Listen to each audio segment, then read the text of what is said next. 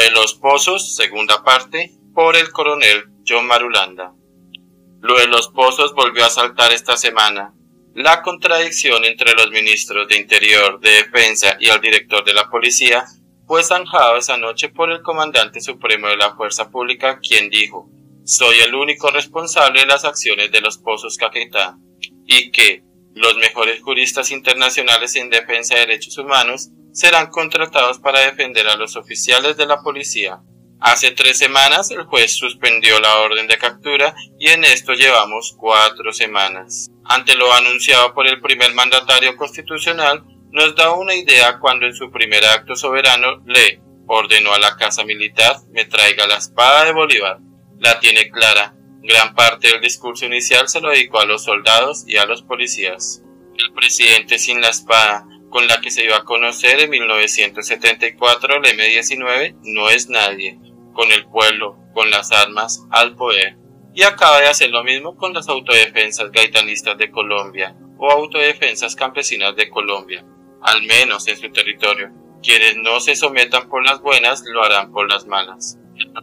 De un ministro de defensa que nada que ver con la seguridad viene con el estigma de ser un anticorrupto, la salida de cerca de 12 generales de las fuerzas militares y otro tanto de la policía, el nombramiento de un mayor general como asesor estratégico en el MINDEFENSA y la selección de una línea de mando obediente. Explica el porqué de tantas bajas de efectivos y no es como el funcionario dice obedece a enemigos públicos. La policía es la favorita del gobernante de turno.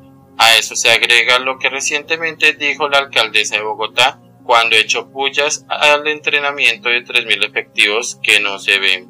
El enemigo son las fuerzas militares, como corresponde.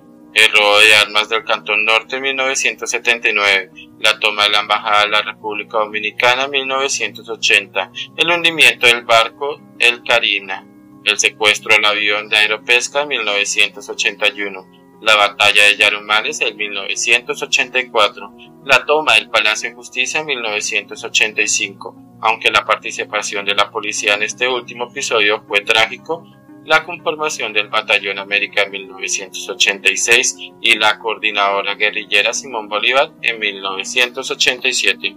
Si lo de los pozos no fuera tan grave, si no hubiera habido un policía asesinado y un civil muerto a bala, la pregunta persiste.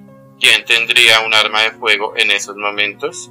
Adendo, conociendo el asesinato de los nueve soldados y nueve heridos en el Carmen, la voluntad de paz del ELN está en entredicho.